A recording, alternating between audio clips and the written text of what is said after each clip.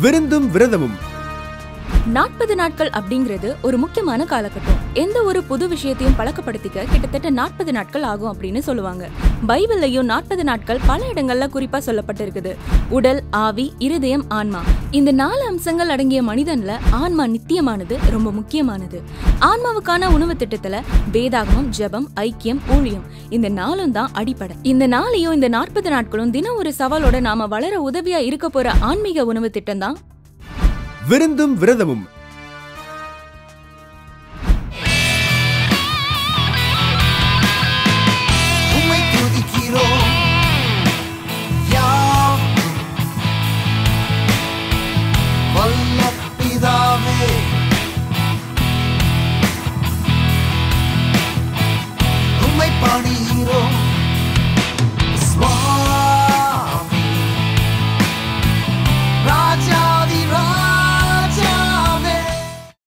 அன்பானோர்களே வணக்கம். இந்த காணொளி மூலமாக உங்களை சந்திப்பதில் மிகுந்த மகிழ்ச்சி அடைகிறேன். ஒவ்வொரு வாரத்திலும் ஞாயிற்றுக்கிழமைகளில் நம்ம வந்து ஆலயத்திற்கு குடும்பமாக போகிறோம். ஆனால் தாமதமாக போகிறோம் முந்தி ஆலயத்தை விட்டு வெளியே வந்துடுறோம் ஐக்கியம் என்பது திருச்சபையினுடைய முதுகெலும்பு போன்றது. முதுகெலும்பு இல்லாமல் ஸ்ட்ரக்சரை நம்ம வந்து பார்க்கவே முடியாது. ஆலய ஆராதனையில் நம்ம கலந்து கொள்கிறதற்கு எவ்வளவு ஆர்வம் காட்டுறோமோ அதை விட ஆலய ஆராதனை முடிந்த பிறகு சக விசுவாசிகளோட நண்பர்களோட சகோதர சகோதரிகளோட ஒரு கரம் கொடுத்து பேசி சிரித்த முகமாக காரியங்களை நம்ம வந்து பகிர்ந்து கொள்வது மிகப்பெரிய ஒரு ஒரு நன்மை. பைபிளில் நூற்றி முப்பத்தி மூணாம் சங்கீதம் அப்படி சொல்லுது. இதோ சகோதரர் ஒருமித்து வாசம் பண்ணுவது எத்தனை இன்பமும் எத்தனை நன்மையுமாக இருக்கிறது. அதில் இன்பமும் இருக்குது நன்மையும் இருக்குது நம்ம வந்து சக நண்ப விசுவாசிகளோடு நம்ம வந்து கரங்கோர்க்கும் போது நம்ம கரங்கள் வழியாக நம்முடைய அன்பு பாய்ந்தோடுது.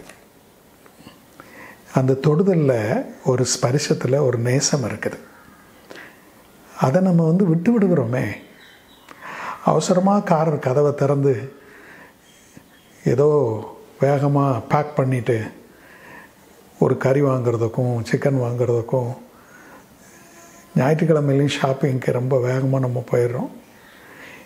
நம்ம வீட்டில் போய் என்ன செய்கிறோம் உட்காந்து டிவியை பார்க்குறோம். ஐக்கியத்தை நம்ம வந்து இந்த ரெண்டாயிரம் ஆண்டு காலங்களில் நம்ம வந்து ரொம்பவே இழந்துட்டோம் திருச்சபைகள். கொஞ்சம் எண்ணி பாருங்களேன். எல்லார் கையிலையும் செல்ஃபோன் வந்துடுச்சு தனிப்பட்ட விதத்தில் நம்மளை வந்து அதை அடைத்து போட்டுக்கிறது. இப்போவாவது நாம் வந்து நம்முடைய ஐக்கியத்தின் மேலே நம்முடைய சக சபை விசுவாசிகளோட நம்முடைய ஐக்கியத்தை பற்றி கொஞ்சம் சிந்தித்து பார்ப்போம்.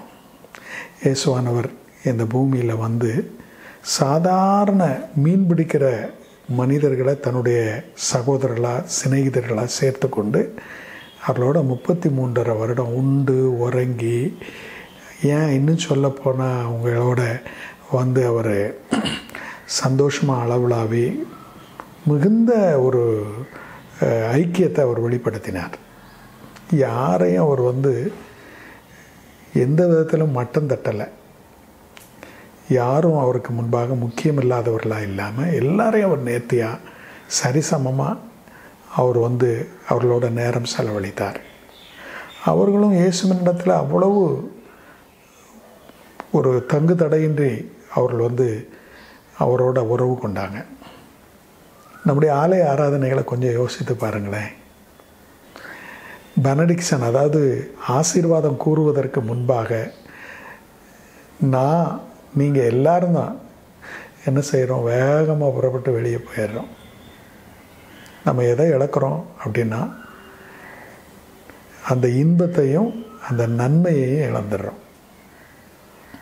நீங்கள் நின்று ஒரு வெட்கத்தோட அல்லது ஒரு கூச்ச சுபாவத்தோட ஆலயத்தில் ஒரு மூலையில் உட்கார்ந்துருக்கிற அல்லது ஓரமாக இருக்கிற ஒரு நபரோட நீங்கள் ஒரு வார்த்தை பேசி நீங்கள் எங்கேருந்து வரீங்க? உங்கள் குடும்பம் பற்றி என்ன? நீங்கள் என்ன தொழில் செய்கிறீங்க எப்படி உங்களுடைய லைஃப் போகுதுன்னு நீங்கள் கேட்டு பாருங்கள் அவங்க முகத்தில் ஒரு பெரிய மலர்ச்சியும் ஒரு தைரியத்தையும் நமக்கு பார்க்க முடியும். அதை நம்முடைய சபைகளில் நம்ம திரும்பவும் கொண்டு வரணும். அதை தான் ஆண்டவர் விரும்புகிறார் இந்த பிலிப்பியர் ரெண்டாம் அதிகாரத்தில் ஒரு வசனத்தை நான் வாசிக்கிறலான்னு நினைக்கிறேன். ரெண்டாம் அதிகாரம் ரெண்டாம் வசனம். நீங்கள் ஏக சிந்தையும் ஏக அன்பும் உள்ளவர்களாக இருந்து இசைந்த ஆத்துமாக்களாய் ஒன்றையே சிந்தித்து என் ஆத் என் சந்தோஷத்தை நிறைவாக்குங்கள். ஐக்கியம் என்பது நம்முடைய ஆண்டவர் இயேசு கிறிஸ்துவனுடைய சந்தோஷம். அந்த சந்தோஷத்தை நம்முடைய வாழ்க்கையில் நம்ம நிறைவேற்றுவோம். இந்த லெந்து காலத்தில் இந்த ஐக்கியத்திற்காக ஒரு செயல்பாட்டை உங்களுக்கு நாங்கள் சொல்லணும்னு விரும்புகிறோம் என்னென்னா இந்த லெந்து காலத்தில் நீங்கள் ஒரு சிலராக கூடி ஜெபிக்க நீங்கள் தீர்மானிங்க. அப்படி நீங்கள் தீர்மானிக்க முன்பாக போது உங்களுக்கு பிரியமான அல்லது நீங்கள் விரும்புகிற ஒரு சில நபர்களை பற்றி ஒரு லிஸ்ட் எடுத்து அவர்களோட நீங்கள் உங்களை அறிமுகப்படுத்தி ஒரு சிறிய ஜபக்குழுவை துவங்குவதற்கு நீங்கள் முயற்சி செய்யுங்க. தேங்க்யூ இன்னைக்குரிய மனப்பாட வசனம் அடுத்து வருது. உங்களில் நற்கிரியை தொடங்கினவர் அதை இயேசு கிறிஸ்துவின் நாள்வரியந்தம் முடிய நடத்தி வருவார் என்று நம்பி நான் உங்களை நினைக்கிற பொழுது என் தேவனை ஸ்தோத்தரிக்கிறேன். பிலிப்பியர் ஒன்று ஐந்து ஆறு.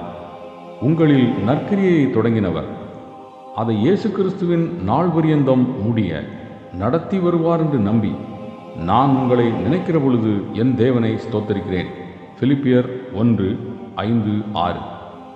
உங்களில் நற்கிரியை தொடங்கினவர்.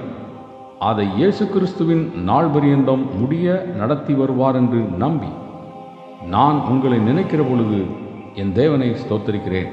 பிலிப்பியர் ஒன்று ஐந்து ஆறு. நாற்பது நாளுக்கும் உள்ள மனப்பாட வசனத்தை கடைசியில சொல்றவங்களுக்கு அதிர்ச்சிகரமான மற்றும் ஆச்சரியமான ஒரு பரிசு காத்துக்கிட்டு இருக்கு.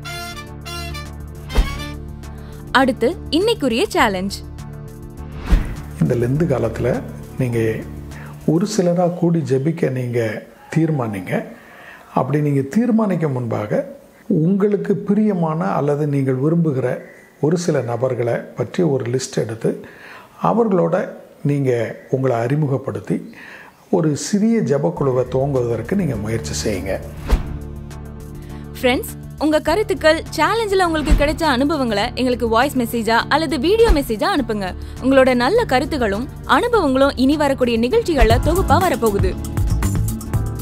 இந்த தியானங்கள் உங்களுக்கு ஆசிர்வாதமா இருந்தா லைக் பண்ணுங்க. சப்ஸ்கிரைப் பண்ணிட்டு பெல் ஐக்கானை பிரஸ் பண்ணுங்க. உங்களுக்கு வேண்டியவங்களுக்கும் ஆசிர்வாதமா இருக்கணும்னா ஷேர் பண்ணுங்க.